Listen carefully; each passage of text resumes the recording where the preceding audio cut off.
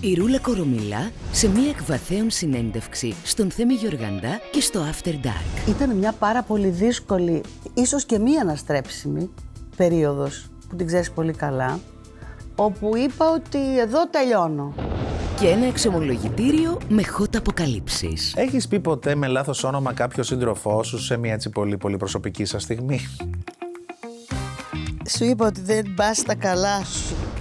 Νομίζω ναι, μία φορά το έχω κάνει. After Dark με τον Θέμη Γιοργαντά. Παρασκευή στις 11.25 στο Omega.